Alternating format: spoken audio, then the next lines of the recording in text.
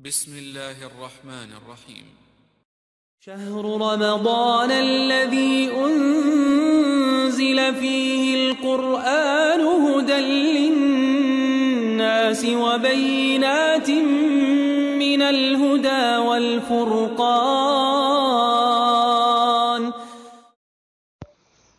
ওয়ালাইকুম আসসালাম রহমতুল্লাহ বারাকাত হুমায়ুন কবির ভাই উম, সিঙ্গাপুর থেকে জানতে চেয়েছেন যে মুসল মুসলমানরা যে সমস্ত জিনিস ব্যবহারের জন্য ক্রয় করে, সেই সমস্ত জিনিস নাকি জাকাত জাকাত নেই।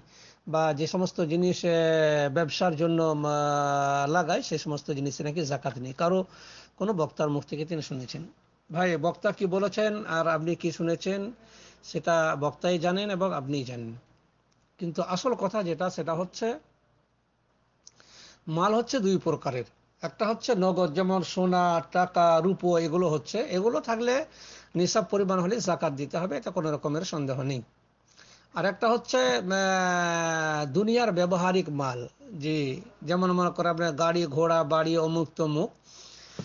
সেগুলো সম্পর্কে ওলামাই কেরামদের মত হচ্ছে, যদি গাড়ি, বাড়ি, এই সমস্ত জিনিস শুধু আপনার ব্যবহারের জন্য না হয় হয় তাহলে এতে জাকাত লাগবে না।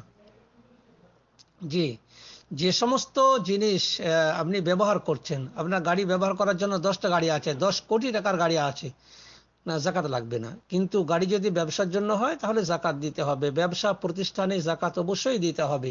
ওলামাই কিরামের ফত, ফতোয়া হচ্ছে যে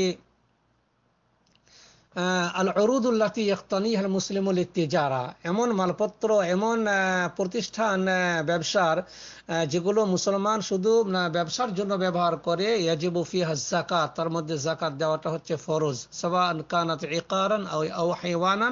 সেটা জমি জায়গা হোক, কিংবা আপনার কোনো পশু হোক, কিংবা আপনার যে অন্য কোনো জিনিস হোক। অন্য যে কোনো জিনিসই হোক না কেন এমন কি যেমন মনে করেন আপনার, আপনি যেমন বললেন, আপনার একটা চিকিৎসা প্রতিষ্ঠান রয়েছে সেখানে যদি মালপত্র থাকে, জি, চিকিৎসার মালপত্র, মেশিনপত্র, সেই মেশিনগুলোর যেহেতু ব্যবসার জন্য আপনি রেখেছেন, সেই জন্য সেগুলোর বছরে আপনাকে কি করতে হবে? একটা হিসাব করে। যেমন মনে করেন আপনার বাড়ি, আপনার একটা দোকান আছে, কাপড়ের দোকান কিংবা অন্য কোনো দোকান তাহলে সেই দোকানের বছর একবার হিসাব করে, মালের হিসাব করে আপনাকে জাকাত অবশ্যই দিতে হবে।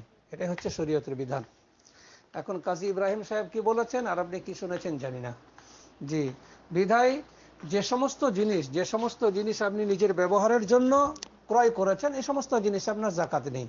সেটা কোটি টাকার, দশ কোটি, বিশ কোটি টাকার হলেও কোনো সমস্যা নেই। কিন্তু যে সমস্ত জিনিস আপনার ব্যবসার জন্য আপনি লাগিয়ে রেখেছেন, জি, ব্যবসা প্রতিষ্ঠান যেগুলো, সেগুলোর অবশ্যই জাকাত দিতে হবে।